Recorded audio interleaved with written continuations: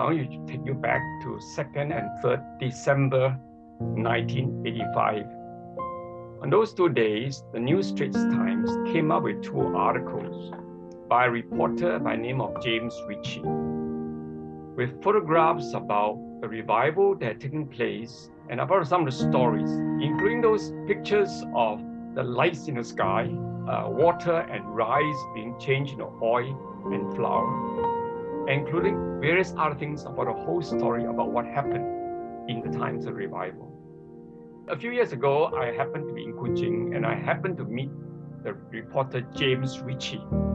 He told me that he actually gone up there, recorded so many things, recorded and told a story.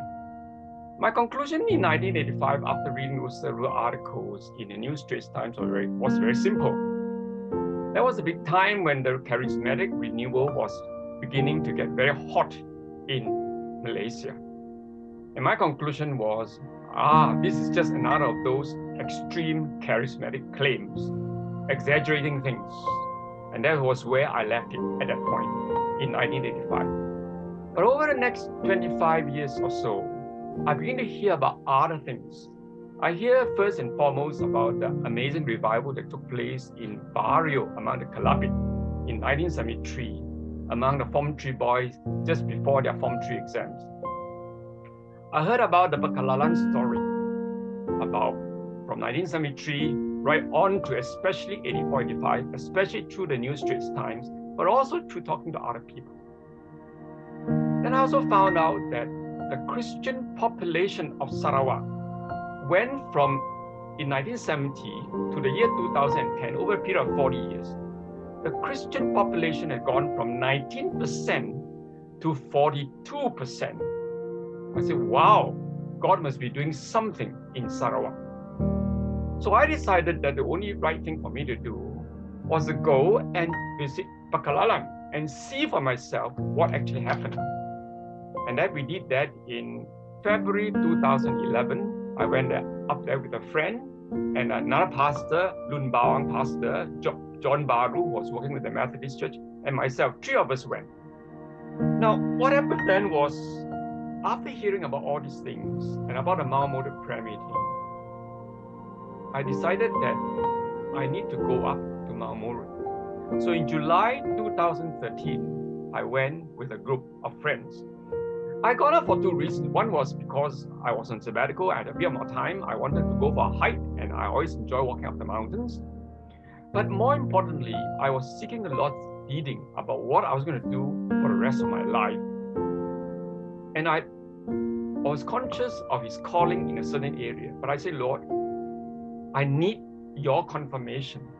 I did not say, I did not know how God was going to confirm it, but I said, Lord, I'm going to go up there to stand, spend time in prayer, and please give me your confirmation about what I'm expected to do. Uh, the meeting started about 7, if I remember correctly, or 6.30, but I started decided to start taking photographs at about 7.40.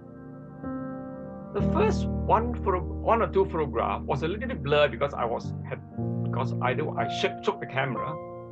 But what shocked me was the next few photograph was blurred. All sorts of pattern there. And I said to myself, hey, something wrong with my camera. Did I is the is, is a lens crack? And then I had a closer look and I saw that these patterns was not caused by cracked lens, but it was a very regular patterns. And some of the patterns were similar to the patterns that were of the found in a photograph that was taken in way back in 1984 and 1985 that we do have today. And I continued to take the photographs from different angles. And I realized that God was manifesting himself in a very special way.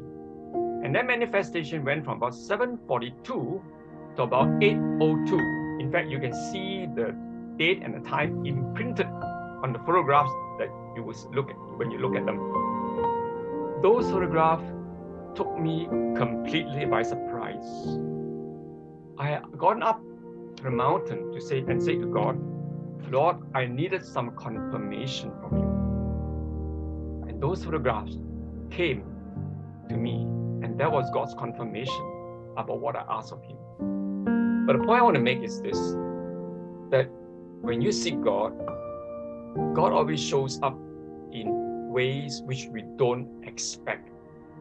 Don't tell him what to do, just tell him what you need, and he'll show himself. And that was what happened. God showed himself to me in a way that I did not expect anything at all. The first revival first touched Ba'Kelalan in 1973 when the when the preaching team came from Bario. For the next 10 years, Pak Agong was a leader revival. Together with some of the people, Pak Musa, Ibu Maria, they will go from home to home, telling people to obey God, to repent of sin, to get rid of all the things that they got from the bomoh, to spend time in prayer, to re- respond to the Holy Spirit's prompting, to be reconciled. After 10 years of pastoral work, where the villagers were challenged to put their life in order, then God spoke to them. I'm going to manifest my glory. Because the people of Ba'Kelalan had sought to live holy lives. Over 10 years, God came and manifested his glory. If you want to go and seek God, your heart must be right. You must be ready for God to manifest himself. As our, our hearts pure. In the book of Hebrews, it says, without holiness, no one can see God.